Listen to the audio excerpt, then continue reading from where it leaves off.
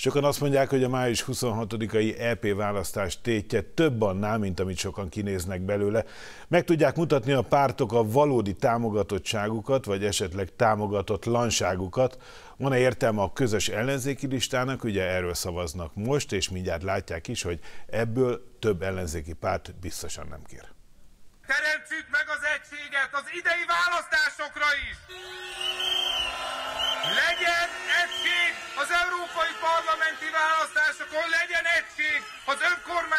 Választásokon! Egy az egyenlem! Némileg váratlanul a közös EP lista ötletével állt elő Tóth Bertalan MSZP elnök a múlt szombati tüntetésen. Ha a színpadon állókat tekintjük az összefogás részeseinek, akkor ez azt jelenteni, hogy a fidesz szemben egy közös listán indulna az MSP, a Párbeszéd, a DK, az LMP, a Jobbik, a Momentum és a Liberálisok. Mielőtt megmutatom a pártok reakcióit, nézzük, mit is mond a választási szakértő. Van-e ennek értelme? Most az a kérdés, hogy mi lenne egy közös lista esetén, most akkor csináljunk úgy, mintha tényleg minden párt beleállna ebbe a nagy közös listába, ez úgyse történik meg, de a modellszem. De, de nézzük meg, hogy mi történne, ha mégis. Mondjuk 49%-ot adunk a Fidesznek, és 51%-ot ennek a nagy-nagy listának. Ebben az esetben 10 mandátum jut a Fidesznek, 11 pedig a, a, a nagy közös listának. Még egy 2014-es kalkulátoron mutatta meg László Robert, mit mutat a matek, de a 2019-es választásra is tökéletesen alkalmazható a rendszer. Megnéztük azt is, mi a helyzet, ha külön indul mindenki. Azt látjuk, hogy a Fidesz így már nem tizet kap, hanem 12-t, és csak a maradék 9 mandátumon osztoznak valahogy teljesítményüktől függően ezek a pártok. Ahhoz, hogy nagy arányú győzelmet arasson az ellenzék, tehát például 13 mandátumot elvigyen, 60-40-re kellene legyőznie a Fideszt, ami teljesen irreális. Ami miatt viszont mégsem lehet ezeket a laboratóriumi körülmények között előállított eredményeket készpénznek venni, az az, hogy hogy azt mégse feltételezhetjük, hogy dekára ugyanazok a választók mennének el szavazni egy nagy közös listára, mint ahányan elmennének szavazni a külön listákra. A szimpla matekon túl mást is figyelembe kell venni. Ceglédi Zoltán, aki általában nagyon kritikus az összefogás mantrával szemben, azt mondja, hogy ha ez nem marad technikai kérdés, hanem tartalommal is megtöltik a pártok, a választói mozgósításban például lehet hozadéka a közös indulásnak. De azt látjuk, és ezért tettem fel ezt a három kérdést, hogy nem összeadható az a szavazótábor. Nincsenek olyan közös ügyek, amelyek ezt összekovácsolják. Hogyha nem tudnak új szavazókat behozni, hiszen a másik kritikám mindig is ez volt az összefogással, az összefogósdival, hogyha mindenkit összeadok, még akkor sincs meg annyi, mint a Fidesz. Tehát látni kell azt, hogy a Fidesz legyőzéséhez önmagában az kevés, hogyha mindenki aki jelenleg ellenzéki pártot támogat az összeállít tábor. Na de akkor nézzük, hogyan is állnak a pártok a közös lista ötletéhez. Támogat-e a Momentum egy közös EP listát, van -e ennek realitása?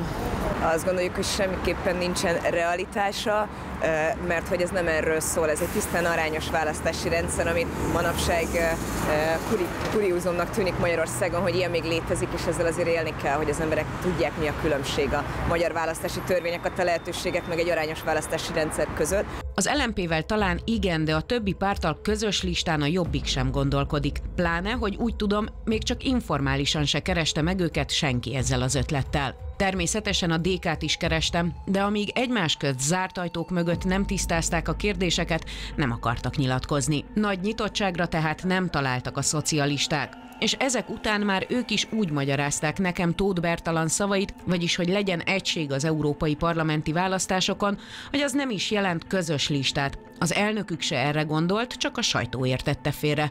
De egyébként ők szeretnék a közös listát szeretnénk erőltetni, erőszakoskodni se, és nem szeretnénk két dolgot biztos.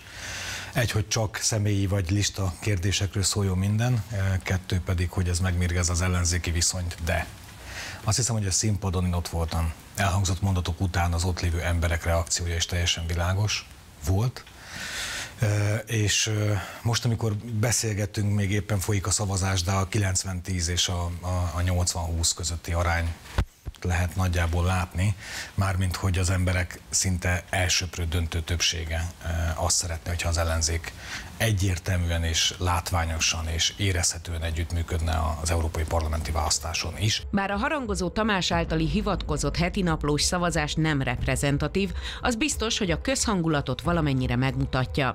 Egyelőre ugyanakkor a közösködés csak a párbeszéddel egyértelmű, ami egyébként nem csak az állandó szövetségi politika miatt logikus, hanem azért is, mert a párbeszéd önállóan szinte bizonyos, hogy nem jutna be az Európai Parlamentbe. Azt nem szeretném, hogyha az ellenzék bele szorulna egy ilyen összefogós diba, abban az értem, hogy arról beszélünk, hogy akkor mi az, amit nem fogunk csinálni.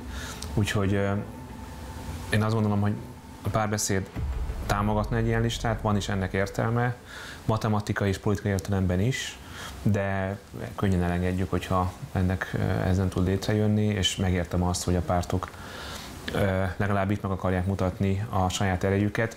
Az önkormányzati választáson azt gondolom azonban ennek nincs alternatívája. Az összefogás kibővítése László Robert szerint az 5% alatti pártokon kívül egyértelműen az MSZP érdeke. Elképzelhető, hogy a tekintve, hogy az MSZP párbeszéd azért nem szerepelt olyan jól az országgyűlési választáson, hogy, hogyha ez nem derülne ki, hogy az ő támogatottságuk alacsonyabb a többi párthoz képest, vagy legalábbis nem jó irányú rájuk nézve az elmozdulás az egy évvel korábbi eredményekhez képest, ha ez mind nem derülne ki egy közös listán, a számukra kedvező lenne, ez is egy olyan szempont, amit nem árt, hogyha megjegyzünk. Az európai parlamenti választás egyébként jóval arányosabb, mint a Magyarország gyűlési. Viszont itt is a nagy pártok járnak igazán igazán jól, mivel az 5%-ot el nem ért pártokra leadott szavazatokat, tehát akár 4,8%-nyi szavazatot is szétosztják az EP-be bejutó pártok között, mégpedig úgy, hogy az leginkább a győztest erősíti. Nyilván az induljon el, aki, aki ér, érzi azt, hogy át fogja ugrani ezt az 5%-os küszöböt. Nem biztos, hogy jó, hogy van egy 5%-os küszöb, abból főzünk, ami, ami van. Mi csupán a számokból indulunk ki, nagyon magabiztosan indul neki a Momentum az Európa Parlamenti választásoknak.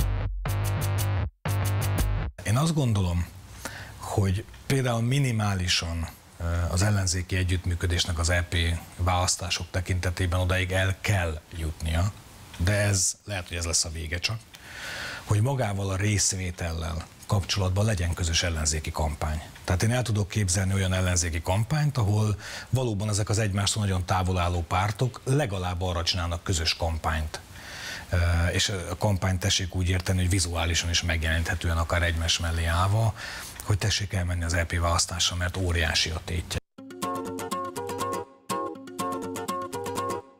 Az Európai Bizottság öt éve készített mozgósító kampányt, de annak a magyar szavazókra kevés hatása volt. Akkor itthon például az MSZP-től ilyen kampányvideóra futotta. Számomra a családom boldogulása a legfontosabb, és hogy biztonságban élhessünk Európában. Az MSZP volt miniszterelnöke Bajnai Gordon pedig akkor már a saját pártjának, az azóta megszűnt együttnek kampányolt. Azért csatlakoztunk az Unióhoz, hogy ne csak az álmaink, hanem végre az életünk is európai legyen. Az egységes fellépés öt évvel ezelőtti hiányának nem csak a képviselői helyekben, de a részvételi adatokban is meglett a negatív eredménye. A részvételi adatok úgy látom, hogy 2%-kal maradnak el a 5 évvel ezelőttitől. Ez még az elviselhetőség határán belül van. Mi kampányoltunk, amit tudtunk, megtettünk, mindenkihez eljutottunk, mindenkihez beszéltünk. Tegnap én még hívtam szavazókat telefonon és közvetlenül. A nap végére még rosszabbak lettek az adatok. 10%-kal maradt el a 2014-es részvétel az 5 évvel korábbitól. Ezt most mindenki el akarja kerülni. Orbán Viktor be is jelentett, el is kezdte a kampányát azzal, hogy ez egy migráció ellenes történet lesz, és nyilván ez a téma több ember tud az ő bázisukból is megmozgatni, de ettől függetlenül is az ellenzéknek a, a legelső lépése az, hogy arra találjon ki közös megoldási tervet, hogy hogyan tudják maximalizálni az ellenzéki szavazók részvételi arányát. Hát azt pontosan tudjuk, hogy a Fidesz milyen erőkkel fog mozgósítani, úgyhogy a mozgósításban szerintem fontos, hogy részt vegyünk. A Fidesz ráadásul már meg is adta a tétjét az uniós választásnak.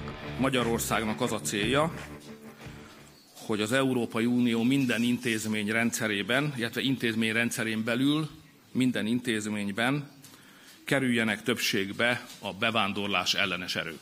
Orbánnal és a Fideszsel szemben az ellenzéknek is lehetnek közös üzenetei a kampányban, mert hogy szerintük is sokkal nagyobb jelentőséggel bír most, mint korábban bármikor, és ezzel az elemzők is egyetértenek. És én egyetlen egy dolognak tudnék nagyon örülni, hogyha tudnánk úgy tétet adni ennek a választásnak, hogy valóban megverjük a Fidesz közösen az ellenzéki oldalról, és ennek folyamányaként képesek lennénk az EP választások után már egy másik Magyarországban ébredni, hiszen egy ilyen politikai vereség után ezt a teljesen totális, beképzelt, gőgös politikai rendszert, amit Orbán működtet, nem lehet tovább ebbe az országban működtetni. Vesző, nagyon fontos, és óriási lökést tud adni annak egy ilyen eredmény, hogy az őszi önkormányzati választásokon letaroljuk az országot, mint ellenzék. Az EP választásnak a hangulata nagyon meg fogja határozni az önkormányzatit, hiszen nagyon közel van a kettő, és ráadásul közötte van a nyári szünet, amikor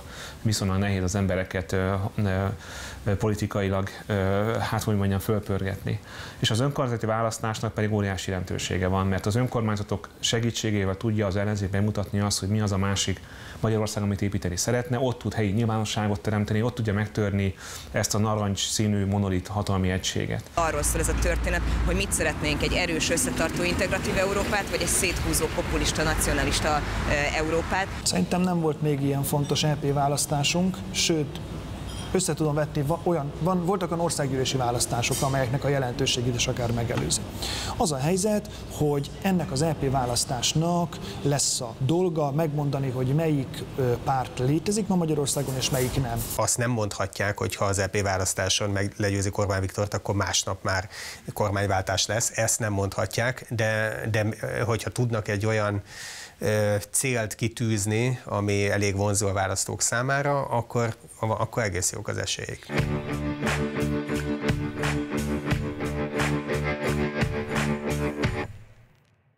Kevés esély látszik, hogy egyetlen ellenzéki lista létrejöjjön. Létrejöhet viszont egy baloldali, az MSZP-vel, a párbeszéddel és a DK-val, és külön egy jobboldali, az LMP-vel és a Jobbikkal, és akkor a kétfarkú kutyapárt és a Momentum marad külön-külön önálló indulóként. Az biztos, hogy most az európai parlamenti választásnak nagyobb a tétje, mint volt öt évvel ezelőtt, már csak azért is, mert nagyon közel van az önkormányzati választásokhoz. A heti naplóban Benyó Rita riportját látták.